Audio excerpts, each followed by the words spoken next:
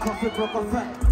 Før jeg kjører ned til jobben for å tjene meg noe spenn. Da må jeg lure på når har du tenkt deg hjem? Så brått er klokka blitt